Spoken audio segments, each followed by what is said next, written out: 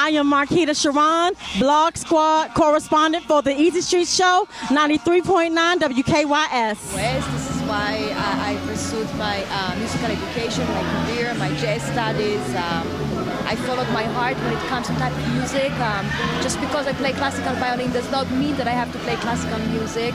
I play the music that I like to play. I compose, I produce, I engineer the music that I love to, to, to produce.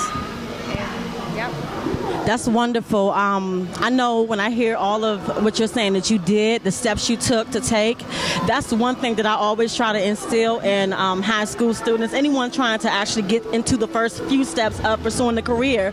What are some What is some advice that you can actually give to them? I think the best advice that I can give is actually to the parents. Support your kids.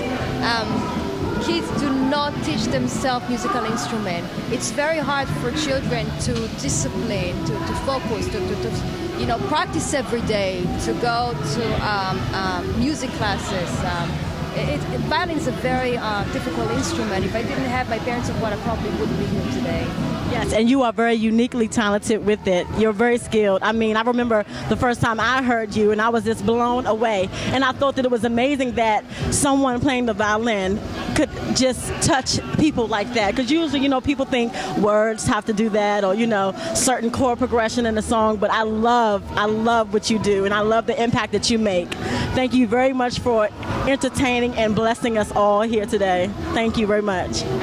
I am Marquita Cheron, Blog Squad correspondent of the Easy Street Show, WKYS 93.9. And we are here right now in the midst of Miss Estelle performing right now. And she is doing an awesome job as always. I love her energy. She is bringing it tonight. She has brought somebody up on the stage already. I love her stage presence.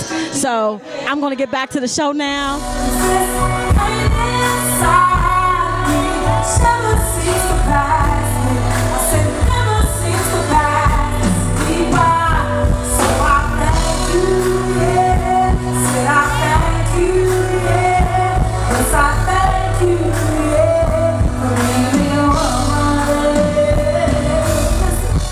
We have now just been heavily entertained by TLC, and as they get ready to leave us, I think everyone can leave feeling well served.